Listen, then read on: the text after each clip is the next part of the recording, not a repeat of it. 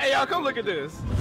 Gibby, gibby, wibby. I pull up in on. I pull up in on. And I say, what's up, Goblin Nation? It's Gibbrian. Welcome back to the Goblin Show. Thanks for stopping by, and man, do we have another good video for you guys today. Let's get started by going over the big news drops in the Rell Seas Discord. They've actually been pretty busy sharing new info, which is a nice change from the usual three weeks with no new sneaks. Before we get into the video, don't forget to like and subscribe because I know this isn't your first time watching one of my videos, and if you don't subscribe, I'm going to get so angry! Oh, and if you're still looking for a crew for Rell Seas, join the Discord below. We're always looking for new crew members. If you're an ally, you should probably join later since we're going to be doing a lot of cleanup this weekend, so there's that. The first thing we should look at is the cool little bar interaction they have here. It's kind of cool the way, it, like, if you look at them in order, it tells a story. Like you can see here, for example, the chick completely says something out of pocket. I don't know what she has to be mad about. She's the one being racist. And then it kind of ends with him being like knocked into the air as a, a little cinematic shot here. You know, first thing I'm doing is putting a bounty on this chick. Me and my crew don't support this racism. I like how they made a root beer so that way, you know, people will stop asking about adding alcohol. you know, they even mentioned here Roblox has it so it has to be root beer, so that's what they went with. Actually, speaking of bar fights, they show this really cool boss fight that gets triggered when he's in the bar. You can see his health's already missing a bit, so maybe he started it by attacking. It's kind of hard to tell how much of this is scripted, like did he place the boss there perfectly to kick him out, or is that where the boss is going to be in the game, you know? Like are there other bosses that are waiting in bars that have like, you know, entrances like that? If there are similar, uh, you know, types of events in other bars, or this is just like a regular occurrence, it really helps to make the world feel alive, because it kind of feels like you're triggering events, you know? I mean, how many shows have you seen where someone walks walks into a bar, gets a drink, and then like some big bully just walks up and picks a fight.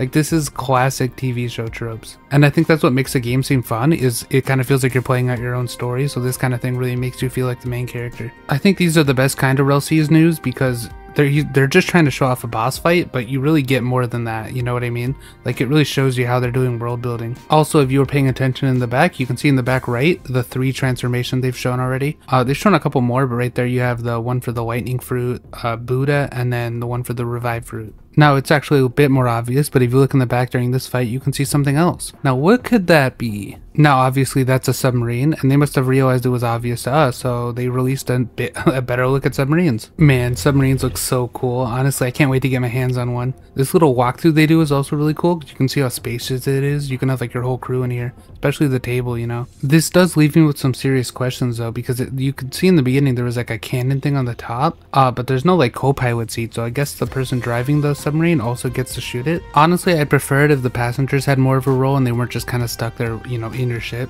But maybe there's a chance that with customization, you'll be able to add turret seats. And in case you're wondering if there is customization, I believe I kind of found evidence. Now, obviously, with most things Rell Seas, this is a little bit of speculation, so I could be wrong. But if you look at the submarine in the back, you can see the two little fins. However, when he's in the pilot seat and looks at the front, you can see he's missing the same fins. So either this is part of the design process and maybe they haven't finalized it, or you can add attachments, similar to the way you can do ships. And I'm kind of leaning towards the second, that you can customize submarines, which would be awesome. Let me know what you guys think. Next, they went on to show off a little mini boss fight, which is kind of interesting. There's a couple things here I'm really curious about. Like, when he does this move, what is this? My question is, is this a move for the weapon? Because he kind of lands on it like like it's for the boss. You know, like when you uh in some of these games when you break the like the stance of the enemy, you can do a special attack. But he's using his weapon, so it's kind of weird. You know what I mean? It looks like he's doing a finisher because he's kicking it in the head and then landing on it and stabbing it. But that just seems really weird to me because you know what I mean? Like what are they they adding one of these for every type of enemy in the game? That would be impossible. My only theory would be that bosses have unique finishers and he's just using a weapon that looks also similar to the knife that he uses. Now I'm definitely spending way too much time on this, but does that knife look the same as the one he's fighting with in this scene here? I'm actually so stumped on how they got a unique animation here and also like are they going to do it for more enemies, you know? Let me know what you guys think in the comment section below. I think I'm gonna go ahead and say maybe knives have a unique form of like critting to like make them feel more balanced compared to heavier weapons. Oh, and then they also showed some footage of him walking around the ship. You can see multiple people inside, so obviously, obviously you can get your crewmates inside, but more importantly, when he gets to the front of the ship, he sees a Megalodon far in the distance, which is really creepy. I swear this game is gonna give people nightmares, especially like this image here of the shark right at the window.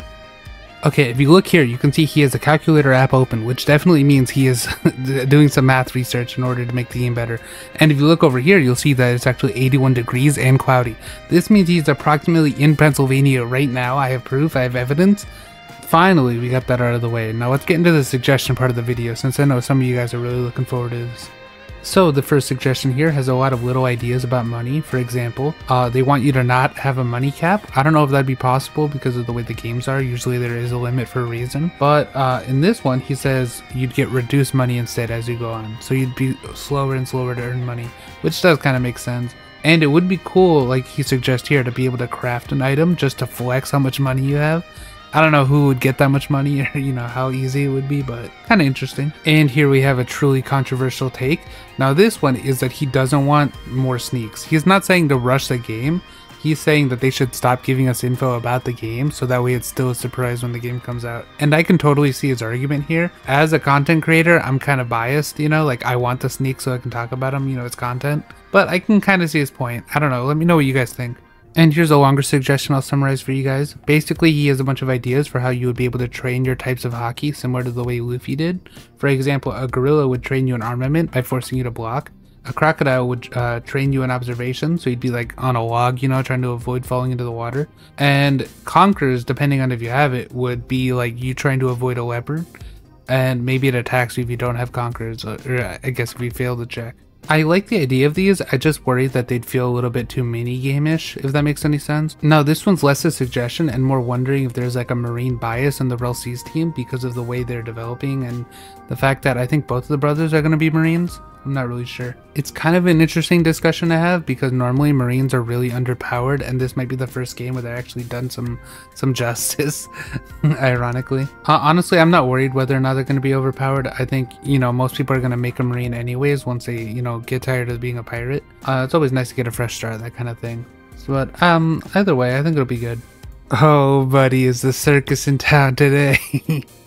so this is one of my mods, right? Ronok21.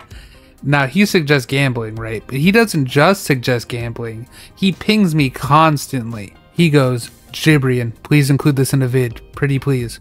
And then he pings me again. This better be in the vid, Gibby. It got seven reactions. And then he messages our mod chat, pinging me, telling me to add it into the chat. You can see here I even call him out for mod abuse. And do you know the worst part? Someone else already suggested this. He's not even being original. Now, comment below, should I take away his mod power? Alright, next we have a suggestion that had um, submarine, like, armor, I guess? I don't know how to describe it. Basically, if your sub isn't upgraded enough, your submarine, uh, when you dive too deep, it will implode and actually cave in and kill you. Which would be terrifying. But, uh, I kind of like this idea. We're not really sure how upgrading works, or, you know, if you can even make them tougher, but I like the idea of having to upgrade your submarine and making it better slowly. It's another form of progression. Oh, and here's another suggestion involving submarines. This one's about the windows being able to break. Uh, I think this would be really cool. Imagine you're under attack and then your windows crack and water starts leaking in. I feel like it would add so much tension, especially like maybe it's just like the health bar on your submarine. So when the health gets lower on your sub, it, the windows start cracking just to show you. I think that would be really cool and make fights really intense against like sea creatures. I think part of what makes submarines so cool is just how many systems you can build on top of them. You know, like all these ideas that we're getting now.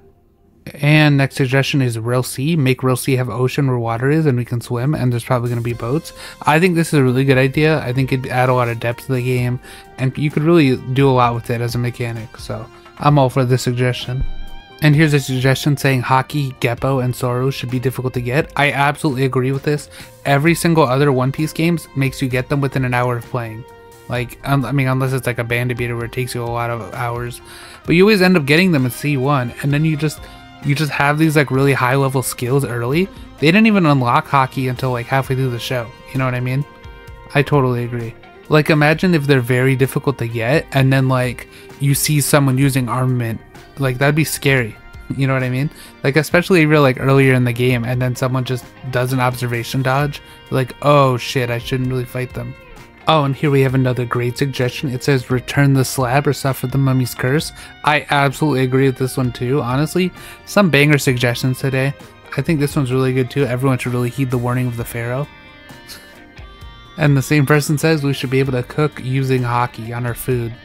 uh, not all your ideas can be good, but I think it's pretty interesting that this guy used ChatGPT to help him come up with like traits and weapon ideas. Kind of a, a really weird use of AI that you wouldn't really think about outside of like being part of a Rell Seas fan. But you know, this guy wants some dad's gibbity toilet. Um, this guy wants a smaller inventory size limit to make chest, you know, boat storage more important. I do like this idea uh, as long as it's not annoying. Like they could make it really small and then you're just constantly running back to the ship. This guy has a cool suggestion about emotes that would show off your weapon or your abilities. I think this would be really interesting. They already kind of do this in Call of Duty when you inspect your gun. Uh, I think it'd be a good flex, like if you have a really rare sword or something like that. Oh, and this guy says the game should just never release, and that way when we die, we'll pass it on to our kids as a legend. Uh, this is pretty interesting. Shut the hell up. Oh, and before I end the video, shout out to this guy, Abyss Twins. He went through like all the teasers and stuff and pulled out basically all the info we have confirmed. There's a lot of really interesting stuff in here, some stuff you might not have like noticed. So it's definitely worth checking out if you're looking for, you know, some stuff. That's about it for the video. To everyone else who wanted a shout out, um, no, no, you're not getting a shout out. Stop asking. Uh, anyways, comment below anything else you want to discuss or any suggestions you have in the comments. As always, thanks for watching. I'll be back with another vid, hopefully soon. I'm not really sure. Um, yeah, uh, see ya.